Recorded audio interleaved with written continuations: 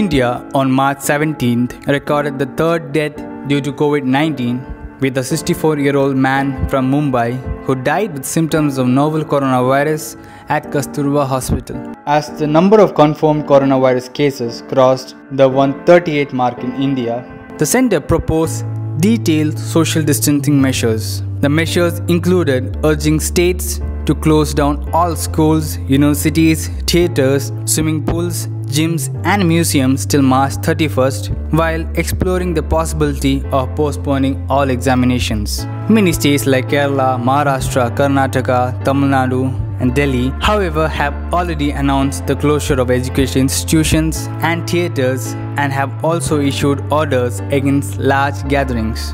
The government also asked private sector organizations and employers to allow employees to work from their home and also conduct meetings through video conferences. Social distancing measures. Public health experts have said that social distancing measures are the most effective ways of breaking the contagion chain and this could also limit the number of transmissions significantly.